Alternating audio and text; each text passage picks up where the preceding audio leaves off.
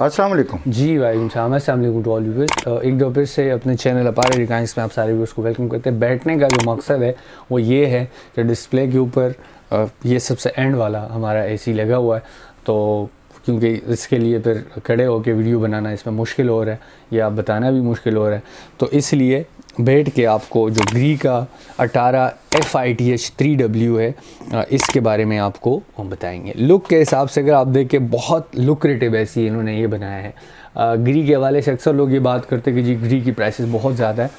तो जब आपको फ़ंक्शंस मिल रहे होते हैं लुक मिल रही है इसके अलावा कंसिस्टेंसी आपको मिल रही है। ज़्यादातर कंपनीज़ ये करती है कि एक साल एक अच्छा मॉडल दे देती है, अगले साल फिर सारा गन कर लेती है। तो ग्री के हवाले से अगर हम बात करें तो ग्री एज अ होल इनके अगर आप सिंपल एसी से लेके इन्वर्टर तक का जो सफ़र है, या लीनियर इन्वर्टर तक का जो टॉपिकल इन्वर्टर है इसके तरह पर जो इनका जो सफ़र है, वो बिल्कुल सेम है कांस्टेंट है। तो इस हवाले से आपको इसमें कोई ऐसी चीज़ फील नहीं होती।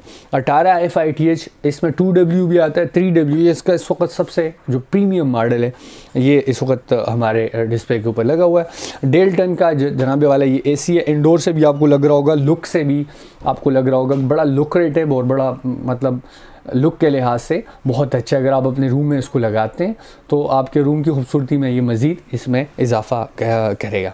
इन्वर्टर टेक्नोलॉजी के साथ है इसमें इन्वर्टर टेक्नोलॉजी के अंदर ज़्यादातर ये बहुत कम होता है कि इन्वर्टर टेक्नोलॉजी है और इसके अंदर हीटिंग का सिस्टम नहीं है। तो ऑबियस बात है इन्वर्टर टेक्नोलॉजी के साथ हीट एंड कूल वाला जो फ़ंक्शन है, वो ऑबियस बात है, इसमें है।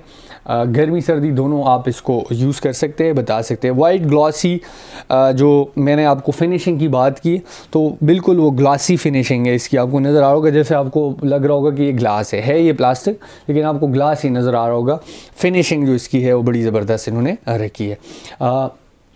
वोल्टेज का जो ऑपरेशन है कंपनी क्लेम करती है कि 150 तक अगर आपका वोल्टेज कम हो रहा है तो कोई प्रॉब्लम नहीं है, आप अपना एसी बेहतरीन तरीके से चला सकते हैं। पाकिस्तान में 180 190 तक कंप्रेसर चल जाता है, लेकिन ये क्लेम करते हैं कि नहीं, हमारा ये वाला जो एसी है, ये 150 तक भी आप उसको चला सकते हैं। आर चार सौ दस आजकल ओवरऑल जितने भी ए बड़े ब्रांड दे रहे हैं, उसके अंदर आर चार सौ दस यूज़ हो रहा है। तो आर चार सौ दस इसके अंदर भी ये सफोकेटिव गैस नहीं है एनर्जी एफिशिएंसी के ऊपर भी इसका बहुत बड़ा इसमें फ़र्क पड़ जाता है। इसके अलावा इसके अंदर ऑटो वोल्टेज जो एडॉप्शन है 150 से 260 तक जो ख़ुद ब खुद एडॉप्ट करता है। अगर बहुत ज़्यादा होता है तो तब भी अपने आप को जो स्टेबलाइजिंग मोड इसका है वो ऑन हो जाता है और आ, ये काम बड़े बेहतर तरीके से इसमें कर सकता है। आ, इसके अलावा ultra low frequency torque control इसके अंदर लगा हुआ है।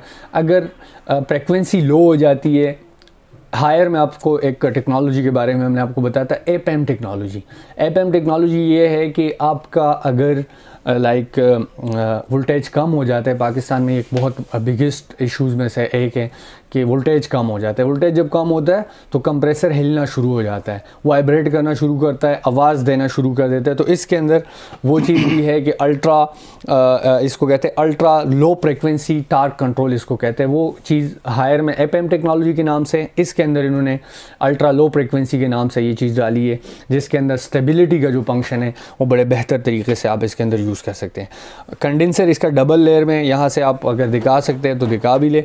यहाँ से आपको नज़र भी आ रहा होगा अल्ट्रा जो डबल लेयर का कंप्रेसर है, दोनों साइडों से कंडेंसर वो इन्होंने इसके अंदर यूज़ किए जो इंडोर है वन मीटर का इसका इंडोर है। कंपनी क्लेम करती है कि वन मीटर का ये इंडोर है। और इसके अलावा इसी तरह आउटडोर भी इसका साइज़ में बड़ा है। प्राइस की बात कर लेते हैं वन फोर्टी फाइव का ये इस वक्त यहाँ पे लगा हुआ है। आप इसको यहाँ पे भी आगे ख़रीद सकते हैं। इसके अलावा आप इसको अपने घर भी मंगवा सकते हैं। Thank you